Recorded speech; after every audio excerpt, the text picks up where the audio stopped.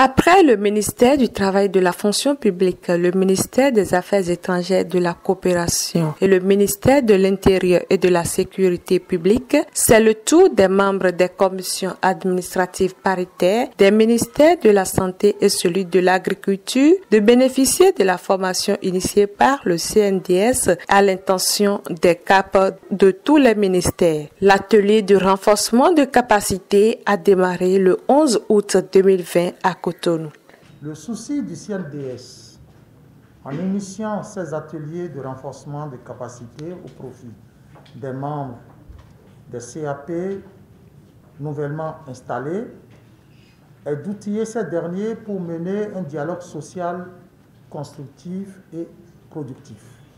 Les objectifs fondamentaux de cet atelier qui nous réunit ici sont les suivants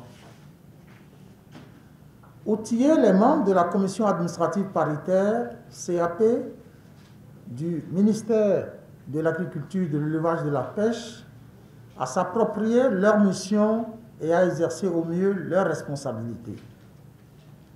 Sensibiliser les acteurs du ministère sur leurs missions et rôles. Familiariser les membres de la commission administrative paritaire aux techniques de négociation de prévention et de gestion des conflits.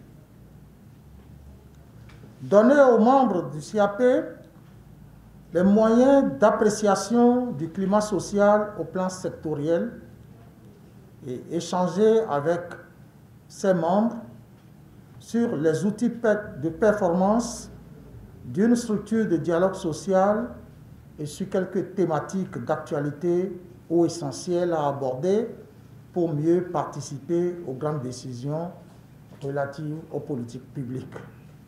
Les partenaires sociaux s'engagent pour l'instauration d'un climat apaisé, empreint de confiance réciproque, en collaboration avec le Conseil national du dialogue social. Remercions donc euh, le Conseil national du dialogue social pour avoir initié donc euh, cette formation à notre endroit.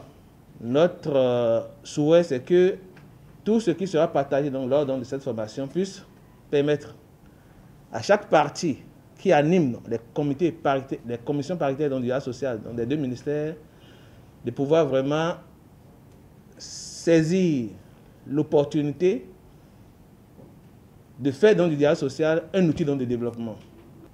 Nous promettons donc d'être assidus et de pouvoir vraiment utiliser dans les fruits de cette formation pour vraiment dynamiser les différentes structures du dialogue social de nos ministères. Pour les travailleurs, le dialogue social est un levier incontournable pour une bonne relation professionnelle.